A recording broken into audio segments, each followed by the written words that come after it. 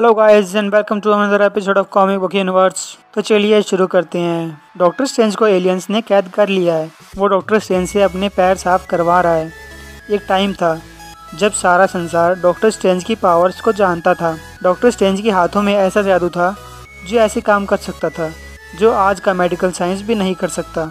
जिन लोगों ने doctor Strange को कैद कर रखा है, उनके प्लेनेट का नाम ग्रिंडा है।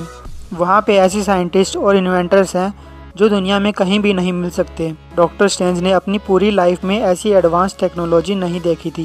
ग्रिंडा प्लेनेट पे पहले कभी दूसरी दुनिया से कोई आदमी नहीं आया था। इसीलिए वो बाहरी दुनिया के बारे में जानना चाहते थे। इसके चलते वो डॉक्टर स्ट्रेंज के ऊपर एक्सपेरिमेंट्स करने लग गए और उसके बारे में सब कुछ पता करने लगे। ये एक्सपेरिमेंट्स डॉक्टर स्ट्रेंज के लिए बहुत दर्द भरे थे। अपने सेल में डॉक्टर स्ट्रेंज अपने दिमाग पे ज़ोर डालकर सिम्बल्स बनाता है, जो अभी उसे याद आते थे। ताकि उसे कुछ ऐसा सुराग मिल जाए जो उसकी पावर्स वापस ला सके। लेकिन उसे कुछ हासिल नहीं हुआ।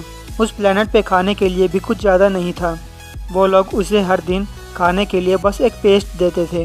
वो लोग बहुत ही निर्दयी थे। वो डॉक्टर स्ट्रेंज को एक खिलौने की तरह ट्रीट करते थे। अब बस डॉक्टर स्ट्रेंज अपने घर अर्थ पे वापस आना चाहता था। वो ये सोचता रहता था कि यूनिवर्स में कभी तो कोई आउटर स्पेस से ग्रिंडा पे आएगा और एक दिन कोई आया।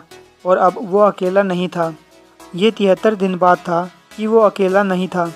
एलियंस ने उसे भी डॉक्टर स्ट्रेंज की सेल में बंद कर दिया। डॉक्टर स्ट्रेंज ने उस लेडी से पूछा कि तुम कौन हो? जिस पे उसने कहा कि मैं टैरिक की बेटी हूँ और मुझे फोलिक एसिड चाहिए। ओह, तुम्हारा स्पेस सूट उसमें कुछ हो सकता है। वो स्पेस सूट को हाथ लगाने की कोशिश करती है जिस पे डॉक्टर स्ट्रेंज कहता है कि ये मेरा स्पेस सूट है। पहले तुम अपना नाम बताओ जिस पे वो लेडी कहती है कि जब मैंने पहले तुम्हारी आवाज़ सुनी, तभी मुझे पता लग गया था कि तुम्हारे अंदर एक यूनिवर्सल ट्रांसलेटर इंस्टॉल्ड है।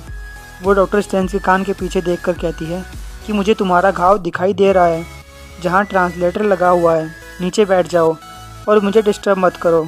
मैं एक आर्कियोलॉजिस्ट हूँ और यूनिवर्स में घूम कर पुरानी चीज़ें इकट्ठा करती रहती हूँ, जादू की चीज़ें। क्या तुम्हारे प्लानट पे भी जादू की चीज़ें हैं?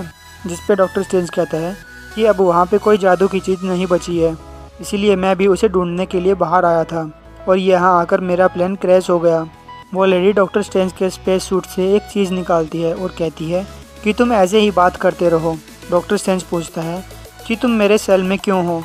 जिस पे वो लेडी कहती है कि मैं ग्रिंडा के किसी सिटी के बाहर एक ऐसी जगह पे गई थी, जहाँ मुझे एक जादू की चीज़ मिली थी। लेकिन उस टाइम मैं ग्रिंडा के छह कानून तोड़ रही थी और मुझे इसके बारे में पता भी नहीं था। इसीलिए एलियन सोल्जर्स ने मुझे पकड़ लिया। डॉक्टर स्ट्रेंज पूछता है कि तुमने क्या चुराया था? क्या तुम मुझे बना कर दिखा सकती हो? अब वो लेडी उस आर्टिफैक्ट की फिगर बनाने लगती है और डॉक्टर स्ट्रेंज की फिगर को देख कर कहती है तो क्या ये तुमने बनाया है? मैं इनमें से कुछ फिगर्स को जानती हूँ। डॉक्टर स्ट्रेंज उस लेडी की बनाई फिगर को देखकर कहता है कि ये तो औस्तुर का चाँद लगता है। हे भगवान, ये तो बासफोरस की आँख है। बासफोरस जादूगरों की कहानियों का एक पार्ट है। उन कहानियों के अनुसार ये यूनिवर्स बासफोरस की हथेली पे टिका हुआ है। अगर उसकी आँख को एक्टिवेट कर दिया जाए तो वह उसे पकड़ने वाले को भगवान बना सकती है। इतने दिनों बाद डॉक्टर स्ट्रेंज के चेहरे पे एक स्माइल आई थी, क्योंकि इस आई की मदद से वो अपनी खोई पावर्स वापस ला सकता था। वो लेडी डॉक्टर स्ट्रेंज को कहती है कि मुझे याद आ चुका है। तुम्हारे बोलने के तरीके से लगता है कि तुम अर्थ से आए हो डॉक्टर स्ट्रेंज उससे पूछता है कि तुम क्या बना रही हो जिस पे वो लेडी कहती है कि वो एक टेक्निकल छड़ी बना रही है। इससे अगर हम गार्ड्स को चकमा दे पाए तो हम यहाँ से बाहर निकल सकते हैं। डॉक्टर स्ट्रेंज के पास कोई ऑप्शन नहीं था। इसलिए उसने कहा कि क्या तुम मेरे ट्रांसलेटर को ठीक कर सकती हो? जिस पे वो लेडी कहती है कि मैं ठीक कर सकती हूँ। अगर तुम उसे निकाल कर मुझे दे दो तो? जिस पे डॉक्टर स्ट्रेंज अपने कान के पीछे एक कट लगाता है और ट्रांसलेटर उसे दे देता है। इसके बाद डॉक्टर स्ट्रेंज उस ट्रांसलेटर का यूज़ करके उन एलियंस की आवाज़ में चिल्लाता है कि देखो, वो भाग रहे हैं, जिसपे एक एलियन गार्ड वहाँ सेल के बाहर आता है। तभी वो लेडी अपने डिवाइस का यूज़ करके एक जादू की स्पेल बनाती है जिससे गार्ड बेहोश हो जाता है और साथ ही सेल का गेट भी टूट जाता है। डॉक्टर स्टेंज भागते हुए उससे पूछता है कि तुमने बिना किसी जादू के भी डोर ऑफ़ अखनू कैसे बना लिया? इस पर लेडी कहती है कि यह टेक्नोलॉजी का कमाल है लेकिन अभी के लिए तुम यहाँ से भागने पर कंसंट्रेट करो। डॉक्टर स्टेंज उससे पूछता है कि मैं तुम पे कैसे यकीन कर लूँ? तुम हमें इस प्लेनेट से बाहर कैसे लेकर जाओगी? जिस पे वो लेडी कहती है कि मेरा शिप सही सलामत है। वो देखो, उसके पास बहुत कम गार्ड्स हैं। डॉक्टर स्ट्रेंज कहता है कि ग्रिंडा के लोगों ने एक स्टारशिप बना ली है। तभी अलार्म बच जाता है और उन दोनों पे अटैक होने लगता है। इसके बाद वो कुछ टाइम के लिए छिप जाते हैं।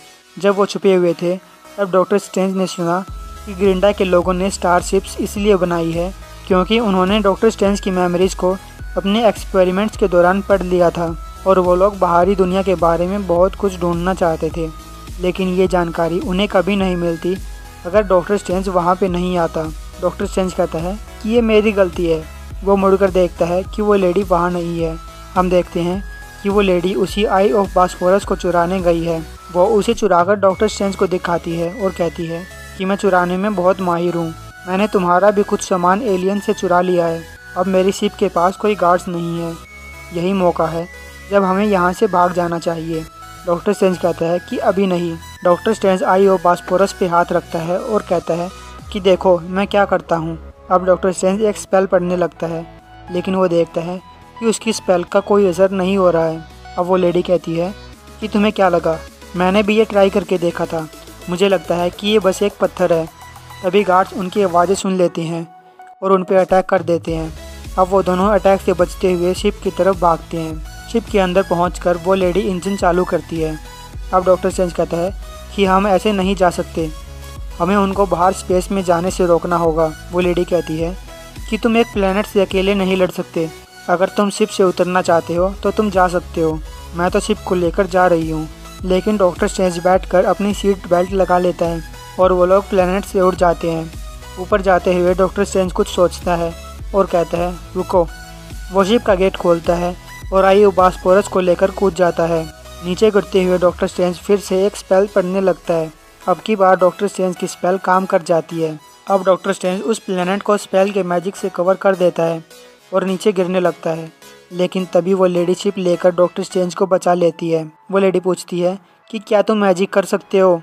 मैं तो अब तक तुम्हें सिर्फ़ एक लल्लू समझ रही थी, जिस पे डॉक्टर स्ट्रेंज कहता है कि मुझे अब याद आ रहा है, एक पैसे आदमी ऐसा नहीं कर सकता। उसके शरीर में रोमांच होना चाहिए। तभी वो आई ओ बास्पोरस को खोल सकता है। मैंने ग्रिंडा को परमानेंटली सील कर दिया है जिससे वो कभी स्पेस में नहीं जा पाएँगे। और तुम्हारी मदद के लिए थैंक्स तुम जो भी हो मैं तुम्हारा नाम नहीं जानता।